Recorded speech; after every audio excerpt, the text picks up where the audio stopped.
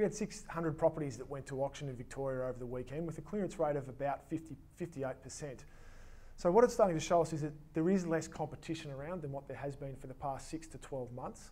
Um, interestingly, we attended three auctions in the inner northern suburbs of North Carlton, North Fitzroy and Brunswick, um, and all had levels of interest. So all three of them had genuine bidding on the day and all passed in on those genuine bids to be sold later on at the top end of the quote range in each case.